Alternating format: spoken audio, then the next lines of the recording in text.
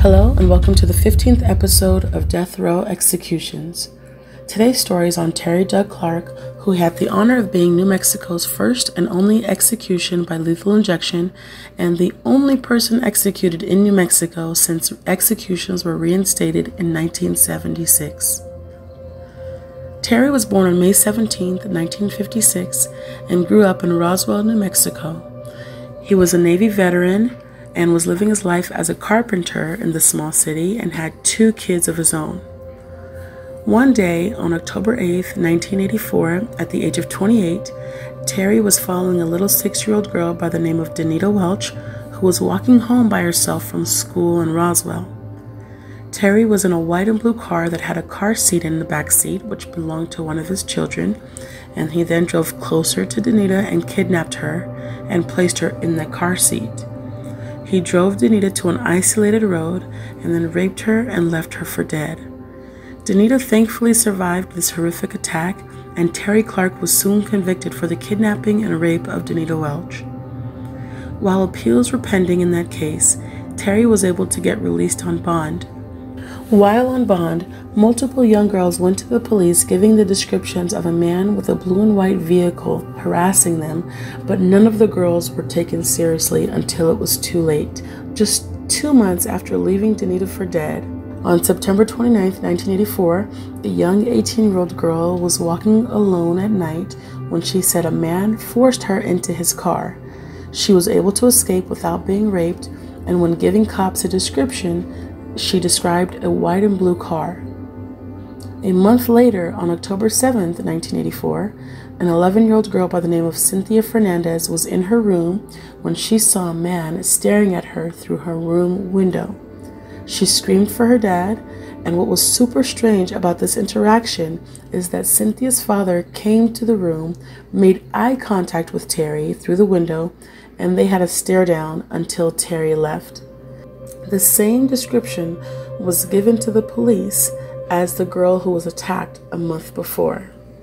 I'm pretty sure there were more girls Terry bothered, but nothing was reported until two years later. On July 14, 1986, Terry followed an 11 year old girl and nearly got her, but she was able to escape. She told police a man in a white and blue car followed her, but nothing was done. And I keep hearing myself say white and blue car, so I'm pretty shocked why police did nothing with this same repetitive description. And just a few days later, on July 17, 1986, a nine year old girl by the name of Dena Lynn Gore was riding her bike from home to a local store. She went missing, and her mom filed a missing persons report. Dena Lynn was found naked just five days later in a shallow grave located on a ranch, which happened to be where Terry worked.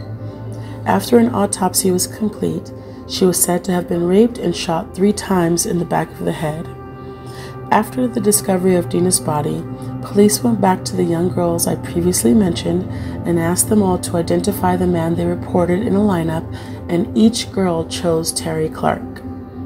Terry was soon arrested and convicted of kidnapping and murder and pled guilty.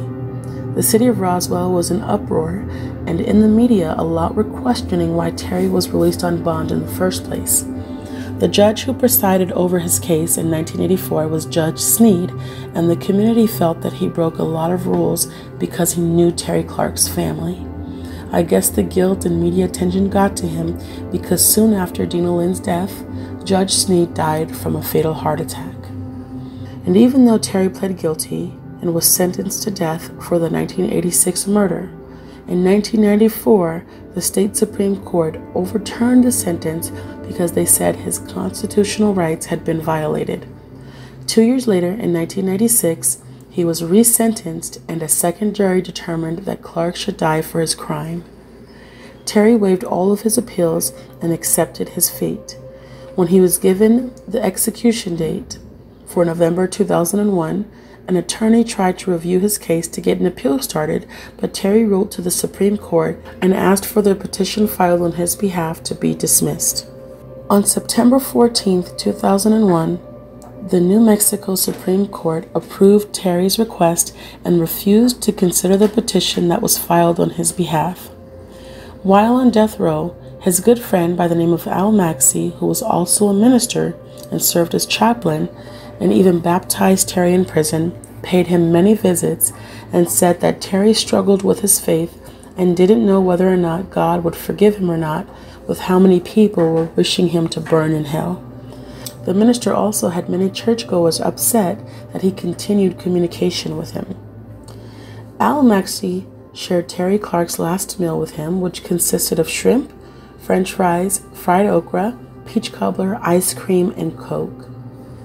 On execution day, November 6, 2001, Al spent the whole day with Terry right beside him in the same cell. They prayed, and the warden let Terry know that he had until 6 o'clock that night to halt the execution, but after praying about it, he told the warden that he wanted to proceed with the execution.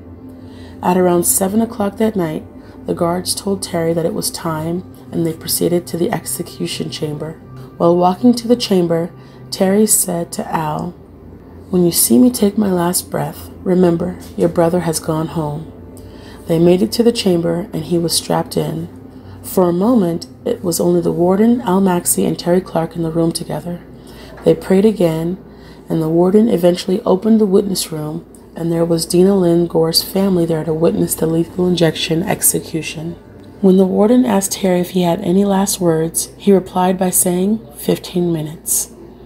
Now, initially, I thought he said 15 minutes in terms of getting his 15 minutes of fame, but after reading about how he died a devout Christian and had good relationships with the guards, warden, and the minister, I did some digging and found out that he meant it in a different way.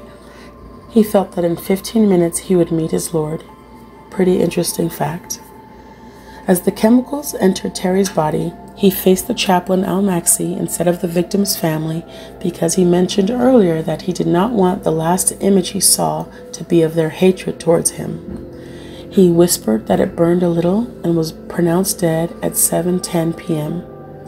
Terry left behind a Bible, and inside the Bible there was a note to Al that read, "To Al Maxey, thank you, brother. May God's grace and love rest on you always. Love, Terry."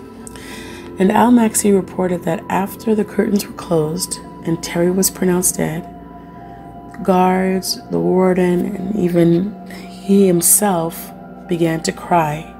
And it just makes you think someone can give you warm feelings, make you feel loved, be kind and genuine, but also be a rapist that will kill and torment you. You truly have no idea who you are talking to or what people do behind closed doors. Let me know what you guys think of the story in the comments below.